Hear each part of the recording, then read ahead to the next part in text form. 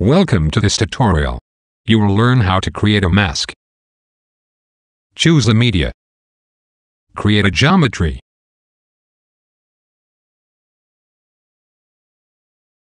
Click on the mask button to add one and click on the left mouse button to add several points to create the shape, at least three points. To finish, click on the right mouse button for the last point, or press enter. It masks surfaces which are below in the stack.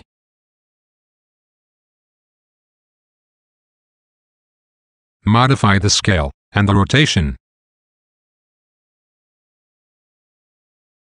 Adjust the opacity. Edit the shape.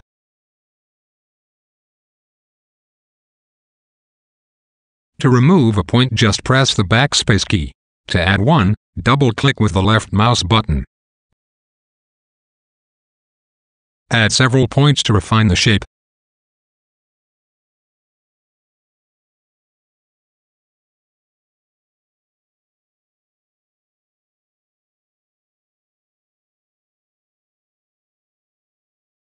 Exit the edit mode.